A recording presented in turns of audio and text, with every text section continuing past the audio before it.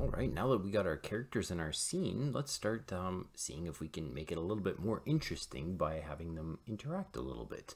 So we're going to learn a bit about block coding now, and um, we're going to highlight probably mostly events, maybe some control, maybe some motion, and maybe some looks. So for example, events are when you want something to happen. So you can see right here, there's three options for, I'm actually not going to use this one because you can see right now I am coding for the trees. It's the blue one that's highlighted, but I'm gonna code for my elf right here. This is the person that I want to code for. So I'm gonna choose these three things here. So if I um, press play, something will automatically happen on start. If I press play and then click an actor, um, then something will happen. Or if I press play and click the up arrow, something else will happen.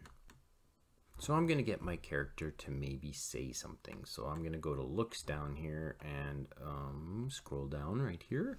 And you can see that there's some speech things. So uh, I'm going to get my character to say hello for two seconds on the start. So that means when I press the play button, there it is. The speech button will say hello. It's hard to read, but you can see that it's there. If I go like this, I can try it again, and you can see there it is. And um, that's the start of it. So that's when I press start.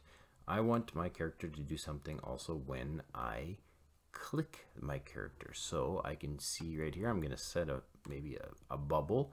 I can even change that shape of that bubble to something a little bit different, maybe a rounded one. And I'm also going to get my character to say um, maybe something like, how are you today?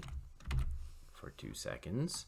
And then now when I press play, here I'll make it full screen again, and I press play, that's on start, will say hello. And then if I click my character, now she'll say something different. How are you today? And if I press stop and back to there, I can continue coding for more. So maybe instead of having that first character do something, I'm going to delete that one and I'm going to code something for my second elf right here. So that one was um, when I click an up arrow, I will want my character to do something. This character, I'm going to see if I can try and get her to move and say something when I click the up arrow. So I'm going to go down here to motion. And now you can have your characters move, but then that will just kind of like make them appear somewhere else. It'll just go like poof. So if I want my character to actually kind of look like it's animated. I like this one better that says glide. So I'm going to get my, especially with ice, it's a good one, but I'm going to get my character to glide. Now you can see on my stage, there's numbers that come up when I have my mouse moving. So I want my character right here, excuse me, to glide to the edge of the iceberg. So I'm going to move my mouse right here and I'm going to see what this number is. There's an easy one. 181 minus 181 and minus 70. And I can put that right into here. Minus 181 and I can put minus 70 and that will create my character to glide to that spot when I press the up arrow. Again, I have to press the play button. And then if I press the up arrow now, you can see that character will slide over there. Maybe it's a little bit too much because she looks like her foot's going to go. So I might need to correct that in a little bit. But anyway, I succeeded in having my character move a little bit here for me.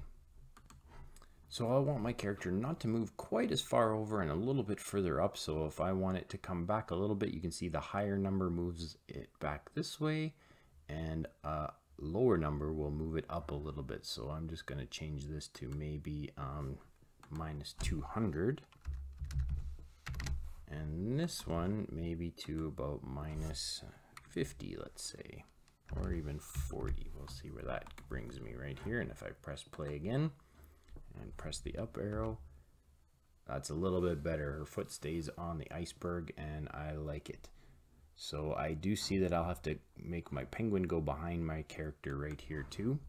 So I'm going to do that as well by clicking the penguin, the arrange, and I'm just going to move the penguin back a little bit, right? Like that. So now I've got my character moving. We can click that character again.